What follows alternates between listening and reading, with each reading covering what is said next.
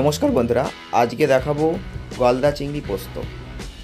তো আজকে রেসিপিতে যেহেতু গলদা চিংড়ি পোস্ত দেখাবো, সেই কারণে একদম গলদা চিংড়ি নিয়ে চলে এসেছি। তো এখানে চারটি মাছ রয়েছে, চারটে গলদা চিংড়ি রয়েছে, দেড়শো গ্রাম ওজন।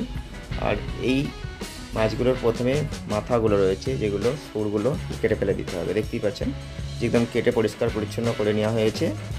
দিয়ে এবার নুন হলুদ মাখাতে হবে, তার আগে কড়াই চাপিয়ে দেওয়া হয়েছে এদিকে। তেল দিয়ে দেওয়া হলো। প্রথমে মাছগুলো ভেজে নিতে হবে আর গলদা চিংড়ি যেহেতু পোস্ত হবে যেন পোস্ত বাটা হয়ে গেছে, একদম রেডি লঙ্কা পোস্ত বাটা। মাছগুলোকে নুন মাখিয়ে নেওয়া হচ্ছে। প্রথমে ভালো করে নুন মাখিয়ে নিয়ে প্রথমে ভাজতে হবে।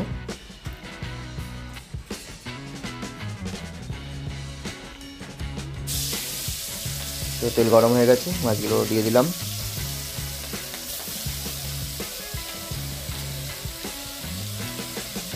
তবে অবশ্যই চিংড়ি মাছটা ভাজার সময় একটু লো ফ্লেমে ভাজার চেষ্টা করবেন, সেটা খুব ভালো হবে।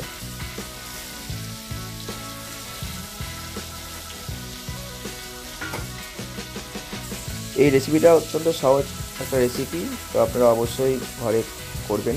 যারা রান্না পারেন না, তাদের জন্য খুব সহজ এই রেসিপিটা খুব সুন্দরভাবে আপনারা করতে পারবেন। তো চিংড়ি মাছগুলো প্রথমে ভেজে নিচ্ছি, তো ভাজা ভাজা প্রায় হয়েই গেছে।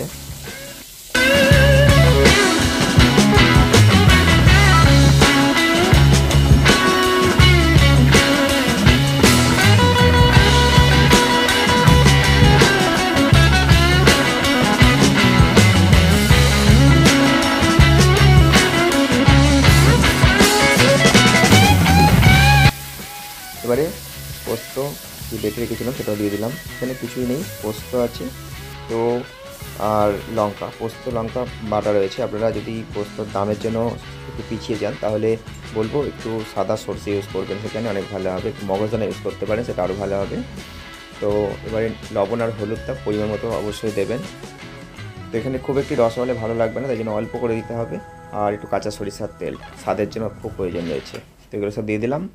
তো এবারে একটু ফুটলেই কিন্তু এটা কমপ্লিট খুব বেশি ফুটতে যাবেন না, তাহলে স্বাদটা নষ্ট হয়ে যাবে।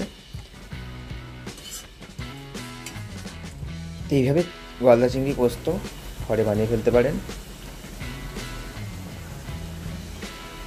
আর আমাদের রেসিপি ভিডিওগুলো কেমন লাগছে অবশ্যই কমেন্ট করে জানাবেন। যদি ভালো লাগে লাইক করবেন শেয়ার করবেন চ্যানেলটিকে সাবস্ক্রাইব করে সঙ্গে থাকবেন। তো দেখতে পাচ্ছেন গলদা চিংড়ি পোস্ত একদম রেডি হয়ে গেছে। তো এবারে একটু পাত্রে তুলে নিচ্ছি। খুব অল্প সময়ের মধ্যে এই রেসিপিটা এতটাই স্বাদ এনে দেবে মুখে। জিভে জল আনার মতন স্বাদ অবশ্যই করে খেয়ে দেখবেন।